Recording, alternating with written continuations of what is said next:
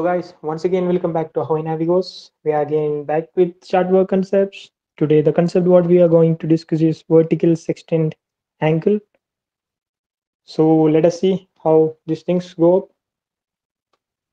Suppose we have a circle like this over here, and it's having a radius of r and a sector of this circle which is having the same circumference also r so your radius is r and your circumference also r of this sector. Then the angle between angle of that sector will be 57.3 degrees. That is a relation between your, your radians and your degrees. So it is 57.3 degrees. If you're having r radius and circumference r it will be having an angle of 57.3 degrees. This is the same concept that we have already discussed in case of in case of our sailing around an arc types of questions. So let us see how we can do these kinds of vertical sextant angle questions. Suppose we have a lighthouse here like this and it's the land and this is the sea. And this water level is mean high water spring. Is very important for these types of questions because there are some questions where they are having confusing things with these things so I'll tell you how these things are calculated. So now we have this lighthouse. Suppose this is the height of the lighthouse. You know, every object is height, uh, every object above the mean high water spring, the height is measured with respect to mean high water spring. And we have a height here, suppose 33 meter for an example we are taking. That is from mean high water spring to the top of the lighthouse. So now we have an observer here, suppose at the sea so this vertical sextant angle is mainly a system by which you can calculate distance you are off from that object by just measuring the vertical angle of that object at land. So let's see how we do that. So suppose this is the distance off from the lighthouse. and is the distance off from the observer to the lighthouse. And you have an angle from the observer to the top of the lighthouse so that is nothing but your vertical sextant angle of this lighthouse. So for this triangle, we have this side that is the same as your height. Now, next thing what we have is, as we know the vertical sextant angle, this can be any angle, can be anything, as the uh, depends on the height of the lighthouse. So suppose if we have an angle like this and an arc and if the angle of this segment is 57.3 degrees so we studied here already. If we are having a segment of 57.3 degrees with a radius and then the radius is same as the circumference. That means this this radius will be same as this value. So the uh, arc that will be same as your distance of. So this will also be your distance of.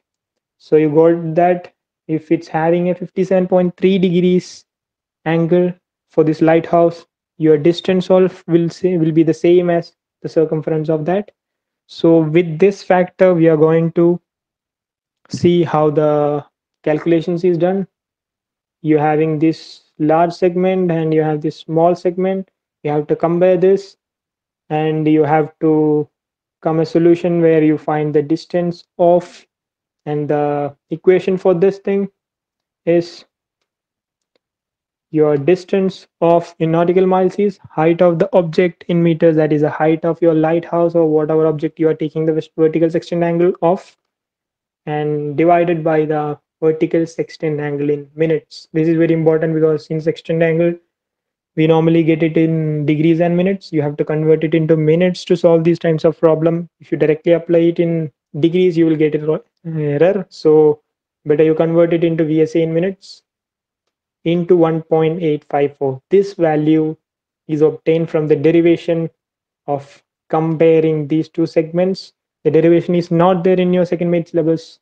And if you want to know how this came it is just simple mathematics. You can just refer to your books where it is derived where they compare this large segment to this small segment and having this distance off as the common point so they can compare the sides and they can get they arrived at a value.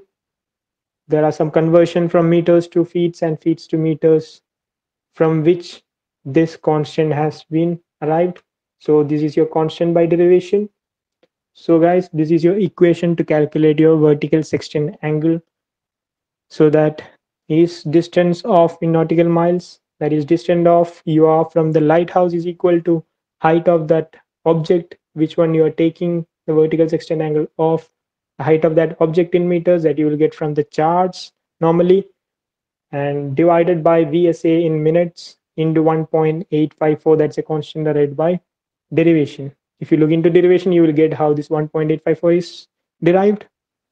And the one other important thing that you need to consider is that there are some points that are need to be considered before you proceeding with these kinds of questions. That is the height of tide above or below mean high water spring is to be considered.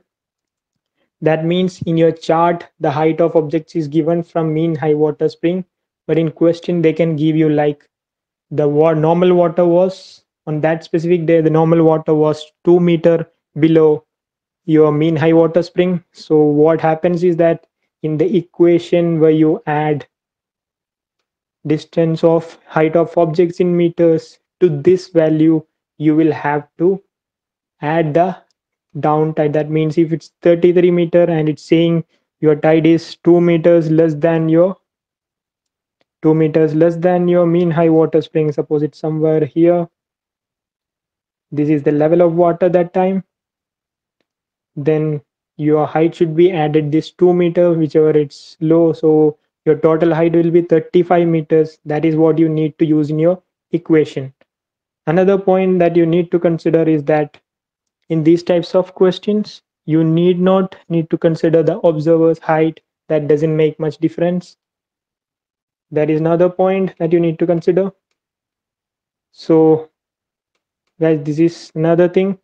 Second another point is that index error need to be considered because your sextants mostly have your index error that is need to be calculated and that to be subtracted or added as per it is on or off the arc to your vertical sextant angle so that you can use it safely on your equation to get your answer. So guys this is how you do with your vertical sextant angle types of question. I hope you guys understood. Still if you have any doubts you can write in comments. We will get to you the derivation of this equation is not in your second mate syllabus. Still if you want to know how it derived you can just go to your books of chart work textbooks. You can find it there. It's pretty simple direct mathematics. So i hope you guys understood. This is how I go signing off